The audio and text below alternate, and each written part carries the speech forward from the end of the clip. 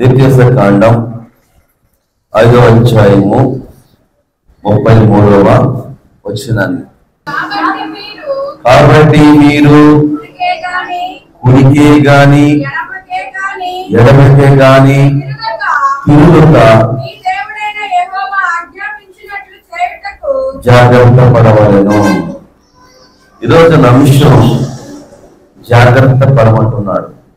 దేవుని బిడ్డలారా దేవుడు పదే పదే మనల్ని ఏమంటున్నాడంటే జాగ్రత్త పడండి ఎందుకు జాగ్రత్త పడమంటున్నాడంటే మనం కుడికే గాని ఎడమకమే గాని తిరిగినడలా మనం శత్రువుకు దొరికిపోతాం.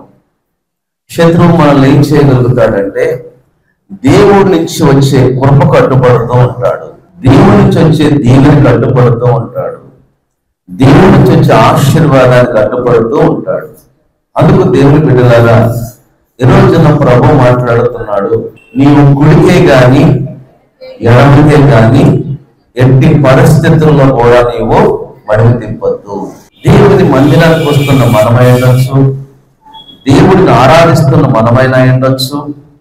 మన యొక్క భక్తి జీవితాన్ని చూసుకుంటే ఈ లోకంలో మరుగైపోయాం మనం.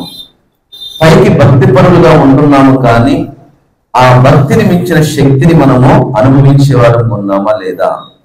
భక్తి లేనప్పుడు శక్తి రాదు. శక్తి లేనప్పుడు దేవుని కార్యాలను మనం చూడలేము. అందుకంటున్నాడు మీరు తిన్నగానే చూడండి. దేని వైపు? సింహాసనం వైపు. కృపాసనం వైపు. ఎందుకు మనం దేవుని వైపు చూడాలంటే మనకు దేవుని ఎందు నుండి కృప దొరకాలి. మనకు దేవుని ఎందు నుండి ఆశీర్వాదం రావాలి.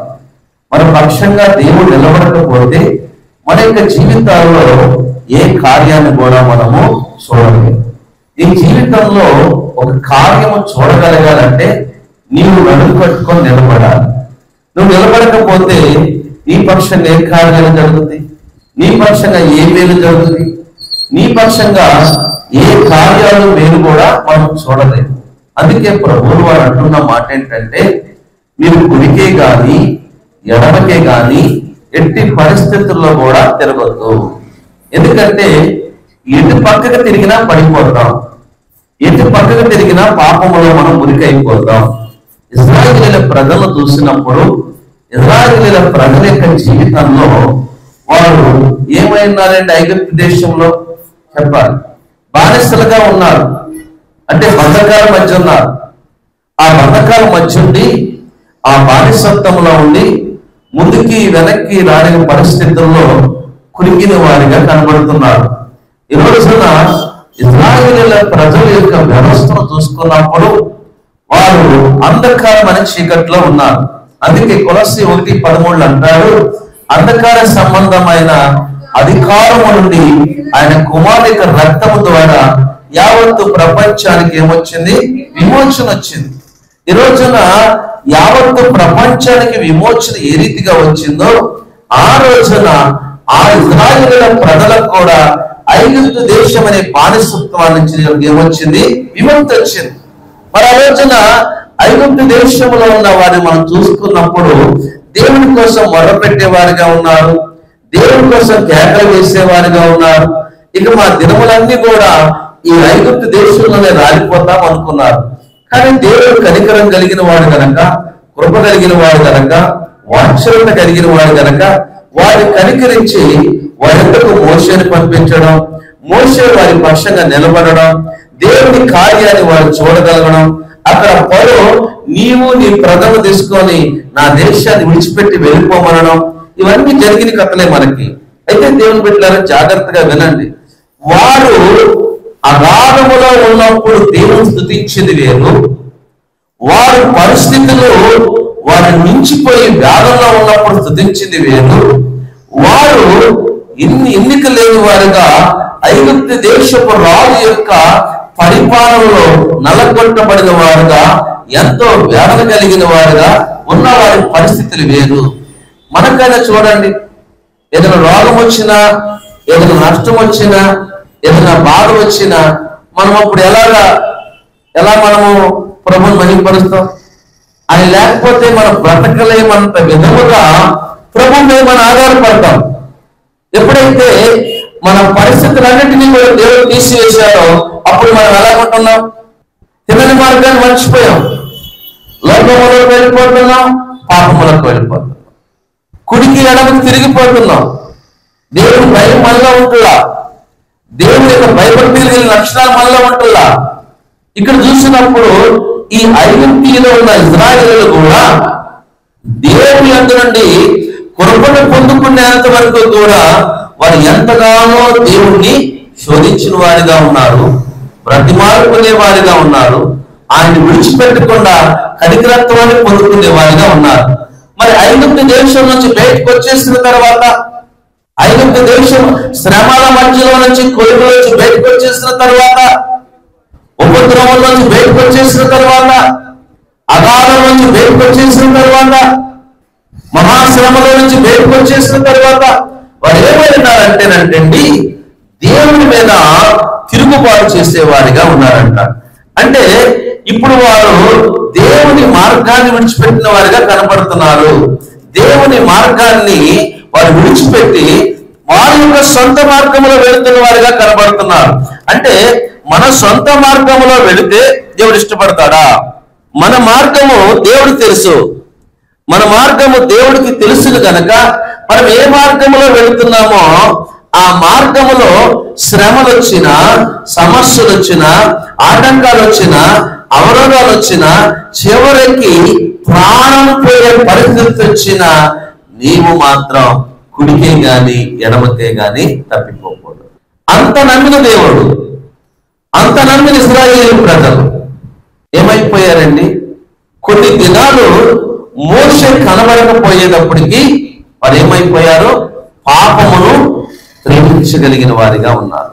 పాపములో వారు నివాసం ఉండడానికి ఇష్టపడ్డారు.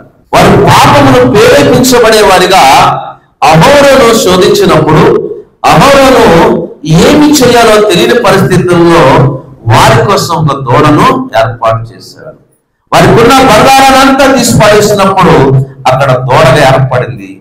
ఆ దూడను వారు ఆరాధించారు. అంటే నీ దేవుడని యహోవాలో నువ్వు మర్చిపోయినట్టేగా? నీ దేవుడని యహోవాకు నువ్వు వ్యతిరేకంగా జీవించినట్టేగా? నీ దేవుడని యహోవా మాటను నువ్వు ధృవీకరించబడిన వాడిగా కనపడ్డావుగా ఇప్పుడు నీ దేవుడని యహోవా నిన్ను జాగ్రత్త పడమన్నాడు. మీరు ఐగంత దేశముల నుండి పాలు తేనెలు ఆ ప్రాంతంలోకి వెళ్ళేంత వరకు ఆ దేశములకు వెళ్ళేంత వరకు మిమ్మల్ని మీరు జాగ్రత్తగా మిమ్మల్ని మీరు జాగ్రత్తగా మీ హృదయములు మీ తలంపులను మీ శరీరాలను జాగ్రత్త చూసుకోండి అని చెప్పాడు. కానీ వారు ఏమైపోయారు మధ్యలోనే వారి దేవుడికి వ్యతిరేకమైన జీవితాన్ని నడిచిన వారిగా కనబడ్డారు. అంటే ఇప్పుడు వారి దేవుడు ఇష్టపడాలా? లేకపోతే వారందరూ నశింప చేయాలా ఈ రోజున ఇస్రాయేలే ప్రజలు కాదు మనము కూడా అదే జీవితంలో కొనసాగుతున్నాం. మనము కూడా అదే జీవితంలో నడుస్తున్నాం. మన జీవితము శాశ్వతమైందా? మన జీవితం సంతోషమైందా? మన జీవితం అందరికి చేర్చేదా? మన జీవితం ఆనందపూర్వగా నేను ఏర్పరిచేదా? కాదే ఎనిమిత్తం అంటే డెబ్బై ఎనిమిదో కీర్తనలోకి వస్తే శ్రేష్టమైన మాట మాట్లాడుతుంటాడు. ముప్పై ఆరో వచ్చిన అయినను వారి హృదయము ఆయన ఎడల స్థిరముగా ఉండలేదు అల్లెలుయా ఏం లేదంటే అండి? స్థిరముగా లేదు. ఆయన అంటున్నాడు మీరు కుడికే గాని ఎడమకే గాని తిరగకుండా జాగ్రత్త పడండి అన్నాడు. కానీ వారి యొక్క హృదయంలో ఎవరున్నారండి? వారి అంతరంగంలో ఎవరున్నారండి? లోకము పాపం ఉంది. అందుకే అన్నాడు నువ్వు కుడికే గాని ఎడమకే గాని చూడద్దు అన్నాడు. కుడి అంటుంది లోకం చూడంటుంది లోకము దేంతో ముడిపడి ఉంది శరీరాక్షలు నేత్రాశ జీవ కుటుంబం ఎడమకు చూడమంటుంది. ఏముందండి? శరీర భోగేక్షలు శరీర భోగేక్షలు పాపముల చేత నింపబడి ఉంది అందుకు నువ్వు కుడికి ఎడమకు తిరగద్దు. ఇటు తిరుగు. జీవం కలిగిన దేవుని వైపు తిరుగు. ఆయన పిలిచాడు కనుక పిలిచిన వారి యొక్క గుణాది క్షేమను బట్టి నువ్వు జీవించడానికి ఇష్టపడు అన్నాడు. కానీ వారిని చూసుకున్నప్పుడు మనకంటే ప్రభు కనపడ్డా కనపడలేదంటే కొంతమంది అంటారు నాకు ప్రభు కనపడ్డాడు అంటాడు మంచి వాళ్ళే కొంతమంది అంటారు దేవుడు నాతో మాట్లాడాడు అంటాడు మంచిదే. కొంతమంది అంటారు దేవుడు యొక్క దోతను దూతను చూశానంటాడు మంచిదే. కానీ ఇంతకంటే ఎక్కువ చూశారు వాళ్ళు ఇంతకంటే ఎక్కువగా చూశారు. కేవలము దూతలే కానీ వారు చూసింది దేవుని యొక్క శూర కార్యాలను అటువంటి గొప్ప కార్యాలు చేసిన దేవుణ్ణి అటువంటి మహిమగల దేవుణ్ణి మరచిపోయి పనికి రాని ఒక దూరం చేసి దాన్ని ఆరాధించబడుతున్నారంటే దేవుణ్ణి వాడు స్థుతిస్తున్నట్ట కనపడుతున్నట్ట లేకపోతే దేవుడి మీద తిరుగుబాటు చేస్తున్నట్ట. దేవుడి బిడ్డలారా ఎందుకు జాగ్రత్త పడమన్నాడంటే నీ బ్రతుకు దినములన్నీ కూడా క్షేమముగా ముగించబడాలి. నీ బ్రతుకు దినములన్నీ కూడా ఆశీర్వాదముగా ముగించబడాలి. నీ బ్రతుకు దినములన్నీ కూడా కరికరము చేత కృప చేత నింపబడాలి. అందుకు ప్రభు అంటున్నాడు మీరు కుడికే ఎడమకే పడిపోయి నా నామమును అవమానపరచడమే కాక నా ధర్మశాస్త్రాన్ని మీరు ఏం చేశారు? పాడు చేసిన వారిగా కనబడుతున్నారు అంటున్నారు అయితే ఇక్కడ ప్రభు అంటున్నాడు ఇజ్రాయేలీని ఆయన ఎందుకు ప్రేమించాడు? ఇజ్రాయేలీల కోసము ఎందుకు ఒక నాయకుడిని ఏర్పాటు చేశాడు?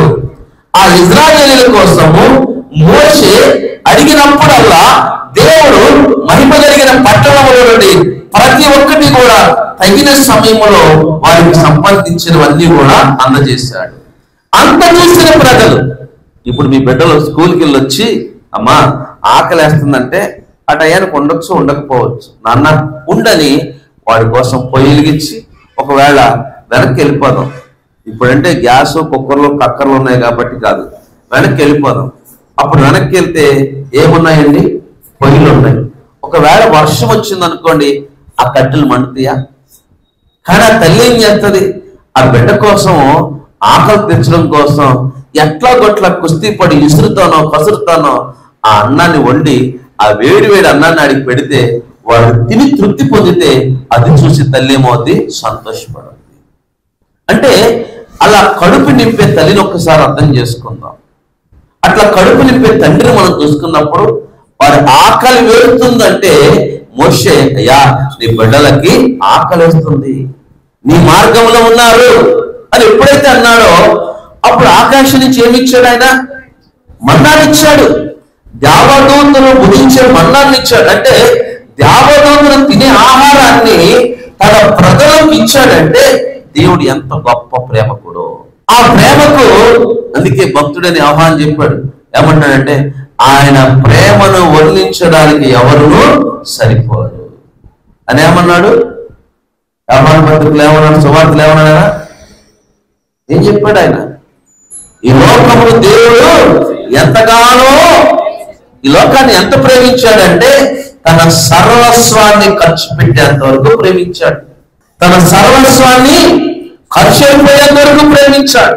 ఒక భక్తుడు చెప్తున్నాడు ఆయన ప్రేమనంట సముద్రపు లోతనే చెప్పొచ్చు గాని ఆయన ప్రేమను మాత్రం లోతు చెప్పలేము అంతటి గొప్ప ప్రేమమయుడైన ప్రభుని వారు అసలు ఆ భుజించిన మన్నా ఉండొచ్చు ఆ భుజించిన మాంసం అయి ఉండొచ్చు. అయ్యా దాహం ఏంటంటే ఈ రోజున వాటర్ క్యాన్ కొనుక్కోవాలంటే ముప్పై రూపాయలు ఇరవై రూపాయలు ఉంది. ఆ రోజున అన్ని వేల మందికి మంచినీళ్ళు కావాలంటే ఎక్కడి నుంచి తేవాలి? అన్ని నీళ్ళని మారాకాడికి వచ్చేటప్పటికి ఆ నీళ్ళని ఎలా ఉన్నాయండి? చేదుగా ఉన్నాయి. అయ్యా నీళ్ళు చేదుగా ఉన్నాయంటే అది చూసి నా బిడ్డలు ఇబ్బంది పడకూడదు. నా బిడ్డలు ఇబ్బంది పడకూడదు అని మోసే ఆకు దాంట్లో పడేయమంటే మారా నీళ్ళు ఒక ఆకు వేస్తేనే ఆ నీళ్ళు ఏమైపోయినండి దేవుడు ఏం చెప్పాడు మోసేకి ఆ యాప్ తీసుకొని నీళ్ళలో వేయమన్నాడు. నమ్మాడు. నమ్మి చేశాడు? ఆకు తీసి దాంట్లో పడేశాడు. తాగాడు.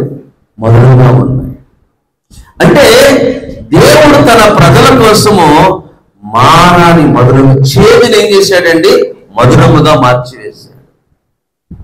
అంత మార్చివేస్తున్న దేవుణ్ణి అన్ని కార్యాలు చేసిన దేవుణ్ణి వాళ్ళు ఎలా మర్చిపోయారు? ఎట్లాగా వాళ్ళు పడిపోయారు? ఎట్లా పడిపోవడానికి వారి హృదయాలు ప్రేరేపించబడి? వారితో పాటు నడిచిన మోస పడిపోలేదు. వారితో పాటు నడిచిన యహోశ్వ పడిపోలేదు. వారితో పాటు నడిచిన కాలేము పడిపోలే వారు జాగ్రత్త పడ్డారు ప్రతి విషయంలో. మరి ఇన్ని వేల మంది ఎందుకు జాగ్రత్త పడలేకపోయారు? ఇన్ని వేల మంది దేవుని చూశారంటే లోకాన్ని చూశారు. శరీరాశను చూశారు. నేత్రాశను చూశారు. దాని వలన పాపం వారిలోకి ఏమొచ్చింది? పడవడం మొదలై గర్భము ధరించడం మొదలైంది. అందుకే వాళ్ళ జీవితం అరణ్యములు ఏమైపోయారు రాలిపోతూ ఉన్నారు దేవుని బిడ్డలారా కుడికే కానీ ఎడమకే గాని నీ జీవితంలో ఎప్పుడు పడిపోకూడదు. ఎది నువ్వు పడిపోయినట్లు అయితే దేవుని యొక్క నామానికి మనము నష్టాన్ని తీసుకొచ్చిన వాడు అవుతాం ఈరోజు చిన్నలు పెద్దలు అనేక మంది పడిపోతున్నాం పాపములో పడిపోతున్నాం వ్యసనములో పడిపోతున్నాం తలంపుల్లో పడిపోతున్నాం మాటల్లో పడిపోతున్నాం అనేకమైన వాటిలో పడిపోయి మనం పడిపోయిన వారు పడిపోయినట్టు కాకుండా మనం సజీవులుగా మనం దేవుడి కోసం పోరాడుతున్నట్లుగా నటిస్తున్నాం. అందుకే అంటాడు ఆత్మలో కపటం లేని వాడిగా ఇలా కనపడాలి. దేవుడి పిల్లలమైన మనము ఎట్టి పరిస్థితుల్లోనూ కూడా నువ్వు పడిపోవడానికి ప్రయత్నించకూడదు. నువ్వు ముందు ఉండొచ్చు. నీ ముందు ఎన్నైనా ఆశ చూపించవచ్చు? నీ ముందు ఎన్నైనా సరే నేను అయిష్టాలను లాగొచ్చు కానీ నువ్వు వెళ్తున్న మార్గాన్ని విడిచిపెడతావా? నేను నమ్మిన దేవుడు మోసం చేస్తావా? నీ కోసము సింహాసనాన్ని విడిచిపెట్టి వచ్చి నీవే నా కుమారుడు అని చెప్పి నీ కోసం గాయపరచబడిన ఆ తండ్రిని గాయాలు వేస్తావా ఏ విధముగా నువ్వు ఆయన సంతోషాన్ని ఇవ్వగలుగుతాం ఏ విధముగా ఆయనకు ఆనందాన్ని ఇవ్వగలుగుతాం ఏ విధముగా ఆయన మహిమపరచగలుగుతాం? ఏ విధముగా ఆయనలో స్థానాన్ని సంపాదించుకోగలుగుతాం?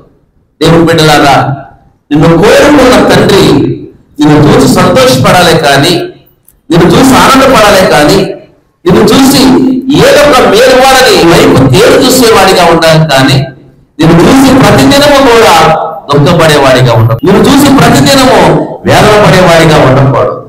ఇజ్రాయేలు నలభై సంవత్సరాలు ఆయన వారి మీద ఏం పుట్టిందంట? ఇసుకు పుట్టిందంట. అల్లెలుయా ఒకరోజు కాదు నలభై సంవత్సరాలు వారు దేవుడికి ఏం చేశారంట? విసుగు పుట్టించారు.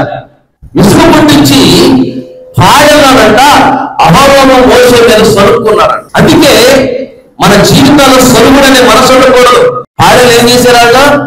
సరుక్కున్నారంట మోసే మీదను అహరోని మీద.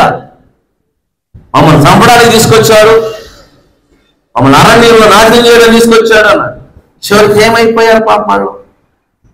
వాళ్ళని నాశనం అయిపోయారు. ఎందుకని? దేవునికి వ్యతిరేకంగా జీవించారు. దేవుని బిడ్డలారా దేవుడు మాట్లాడుచున్న మాట ఏమన్నాడంటే ఆయనను వారి హృదయము ఆయన ఎడల స్థిరముగా ఉండలేదు. ఏం లేదంటే అండి స్థిరమైన జీవితం లేదు. జీవితమే వెళ్ళిపోయే జీవితమే ప్రతి దినము కూడా లోకాన్ని చూసే జీవితమే. మరి ఆ జీవితంలో ఉంటే నువ్వెప్పుడు ముందుకు వెళ్తావు? ఎప్పుడు మనం ప్రభుత్వం చూడగలుగుతాం? ఎప్పుడు చూడగలుగుతాం ధనవంతుడు చచ్చిపోయి ఎక్కడ ఉన్నాడండి? ఆ? అరకలం లాదర్ ఎక్కడ ఉన్నాడు? అబ్రహాం రొమ్మను ఉన్నాడు. వాళ్ళు తిన్నంగా ఉన్నారు కాబట్టి దేవుని దగ్గర ఉన్నారు. ఈ ధనవంతుడు గర్వంతుడు ఉన్నాడు కాబట్టి ఎక్కడ ఉన్నాడు?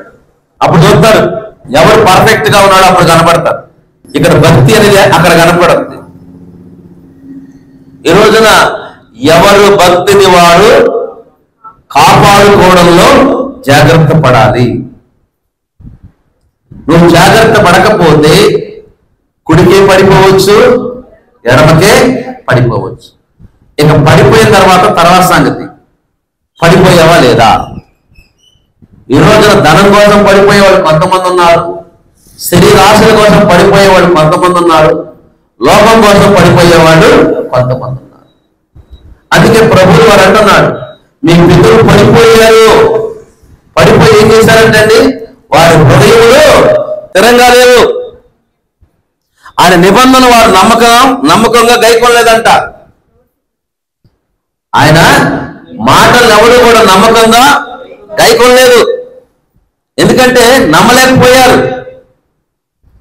వారితో చేసే నిబంధనలు మర్చిపోయారు. ఈరోజు నా ప్రభు దగ్గరికి వచ్చిన మనము ఒక నిబంధన చేసి వచ్చుకున్నాం అయ్యా కుడికే కానీ ఏడకమే కానీ మేము వెళ్ళాం. నీకోసం బ్రతుకుతాం నీకోసం జీవిస్తాం. ఏదొచ్చి అనుభవిస్తూ నిలబడతాం ప్రభా. అని నిబంధన చేసుకుని నీటిలో మునిగాం. నీటిలో మునిగితే అది తేలిక అనుకున్నారా? నీటిలో మునగడం అంటే దేవునికి నీకు మధ్య ఒక నిబంధన. ఆ నిబంధన ఎప్పటి వరకు కాపాడుకోవాలి? చచ్చిపోయేంత వరకు కాపాడుకోవాలి దాన్ని. దాన్ని కాపాడుకుంటూ జాగ్రత్త పడాలి. వస్త్రానికి మురికి పడితే ఏదో రకంగా వదిలించుకుంటాం. ఒక చిరిగిపోతే కొత్త కొండ కొనుక్కుంటాం. కానీ ఆత్మీయ జీవితం మురికట్టుకుంటే ఆత్మీయ జీవితంలో పడిపోతే మలినమైపోతే ఆత్మీయంలో విరిగిపోతే ఎప్పుడు కట్టబడతాం? సమయం ఉండగానే నీళ్ళు ఏం చేసుకోమన్నాడు? చక్కబెట్టుకో. బ్రతుకున్న మన స్థితిలో దేవుని సన్నిధిని అనుభవించాలి. ఈరోజున ప్రభు మాట్లాడుతున్నాడు. మనము తీసుకున్న రక్షణ ఉందా? ఉడిసిపోయిందా ఇజ్రాయేల్ చూసుకున్నప్పుడు అసలు వాడు అన్ని చేసినా దేవుడు నమ్మలేదంట. అన్ని కార్యాలు చేసినా వాడు ఏం చేయలేదు నమ్మలేదు? స్థిరత్వం లేదంట ఇంకో వచనం చూసుకుంటే ఇంకా చక్కగా ఉంటది. నలభై వచనం చూడండి. డెబ్బై ఎనిమిది అరణ్యమున వారు ఆయన మీద ఎన్ని మార్లు తిరగబడి ఎడారియంలో ఆయన ఎన్ని మార్లు దుక్కి పెట్టిరి? మాటి మాటకి వారు దేవుని శోధించిరి. మాటి మాటకి ఇజ్రాయేల్ పరిశుద్ధ దేవుని సంతాపం కలిగించిరి. ఏం చేశారంటే అండి? ఒక రోజు కాదు రెండు రోజులు కాదు. మాట మాటకి అందుకే ఇజ్రాయిల్ మీద ఆయన ఏమైపోయాడు? విసిగిపోయాడు. అందుకు అన్నాడు మీరు కూడా మీ పితృల వలే నా మీద తిరుగుబాటు చేయకండి మీ పితరులు నలభై సంవత్సరాలు ఏం చేశారు? ఏడిపించారు అన్నాడు ఒకటే మాట గొడవలేదు. మనము దేవుణ్ణి ఏడిపిస్తే మనకు వచ్చే లాభం ఏంటి? మనము దేవుడికి దుఃఖాన్ని కలిగిస్తే మనకు వచ్చే లాభం ఏంటి? మనం దేవుణ్ణి ఏడిపించినంత కాలం శైలి ఖాళీగా ఉంటుంది. సంతోషపెడుతున్నంత కాలం దిగొస్తానే ఉంటుంది. దేవుని నువ్వు సంతోషపెట్టడానికి నీ హృదయాన్ని పరిపూర్ణముగా ప్రభుకు నీవు అప్పగించే దేవుని పెట్టారా ఎందు నిమిత్తం అంటే మనం నమ్మి ఎవడైనా కోటి రూపాయలు ఇస్తాడు చెప్పండి? ఇస్తాడా? సొంత అన్నదమ్ములు ఇంట్లో ఎవడు వీడికిస్తే నొక్కేస్తాడేమో అని. ఒకడు భార్యకి ఎవడో ఎందుకంటే వాళ్ళ అమ్మనాలు పెట్టేద్దని. నిజం? ఎవడో నమ్మడో. అలాంటిది ముక్కు మొహము తెలియని మనల్ని సజీవుడైన దేవుడు తన ప్రాణాన్ని కోట్ల చేసే ప్రాణాన్ని మన కోసం ఏం చేశాడు?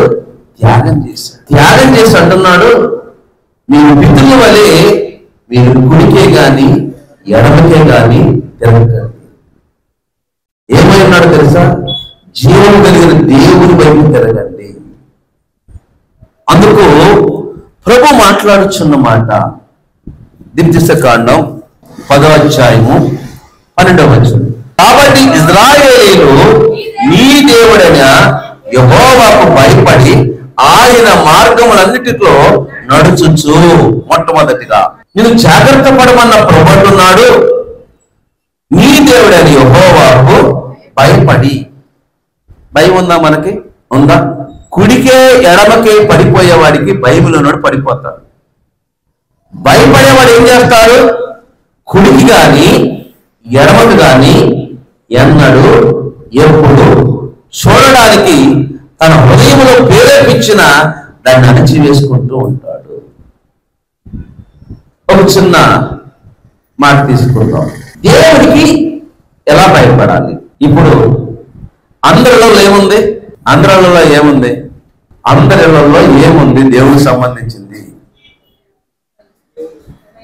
బైబిల్ ఉంది కదా? ఇప్పుడు బైబిల్ దేవుడా కాదా? వాక్యమే దేవుడైనప్పుడు నీ ఇంట్లో దేవుడి వాక్యం ఉన్నప్పుడు నీవు దేవుడికి భయపడుతున్నావా లేదా? నీ గుడారములో దేవుని వాక్యము ఇలా కనబడుతూ ఉంది ఎక్కడికక్కడ. ఆ వాక్యము నీ ఇంట్లో ఉందంటే ఆయన ఉన్నట్టే కదా? మరి మన మాటలు ఎలాగున్నాయి నోట్లో బూతులు ఎలాగున్నాయి మనం చేసే పని ఎలాగుంది అంటే దేవుని వాక్యం నువ్వు చూస్తుందన్న భయం నీకు లేదు. దేవుని బిడ్డారా దేవుని వాక్యము ఆ రోజు వారి ముందు కనపడలా. ఈరోజు దేవుని వాక్యం మన ముందు కనబడుతుంది ఏమని కనబడుతుంది నేను నేను దొరుకుతున్నా పాపము చేయకు. జాగ్రత్త. నేను అగ్ని పనుల వాడు కలిగిన వాడిని నేను అగ్ని నేత్రములు కలిగిన వాడిని ఎవడైనా పాపము చేసినలా వాడి దేవుడు ఉదయకు దిగి వస్తుందని కనపడతా ఉంది.